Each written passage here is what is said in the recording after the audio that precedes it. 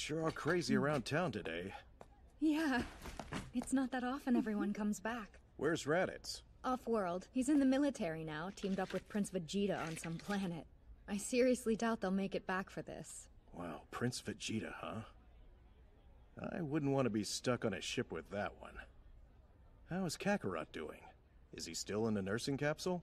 He is. It's just about time to let him out, though. You should see him. Come on. Still small, huh? I think he may be a late bloomer. He looks just like you, though, don't you think? He certainly has his father's hair, for better or worse. After dark, I'm going to steal a pod for him. Huh? We're going to send our son to another world. Huh? You've got to be kidding! Gine, I'm serious. Have you gone insane? Why would we abandon our son like that? He hasn't even learned how to talk yet! With his latent abilities, he's destined to be sent away. Probably somewhere horrible. So we're going to see to it that he at least grows up on a decent planet. No, he's far too young for that.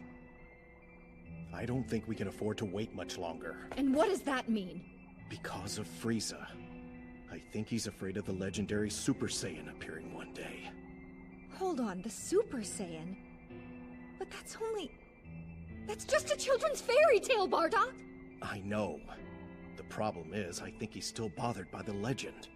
And I can't imagine he'd want to take any chances. I get the feeling that death is on its way for us.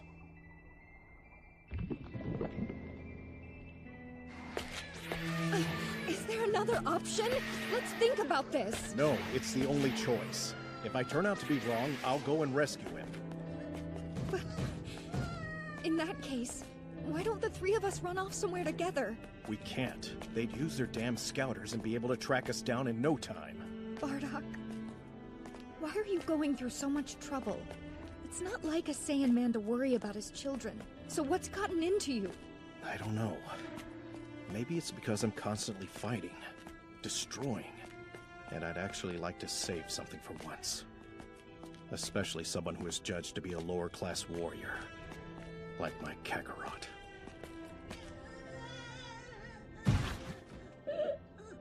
I've programmed this to head to a distant planet called Earth. The people on that world have low power levels and aren't technologically advanced. I think you'll be able to do well there, Gine. Good thing is, it's not an extremely valuable world, so I'm hoping it won't even show up on the Frieza Force's radar. If your father is wrong about this, then we'll come and get you immediately. Listen, son. You do what it takes to survive, got it? We'll see you really soon.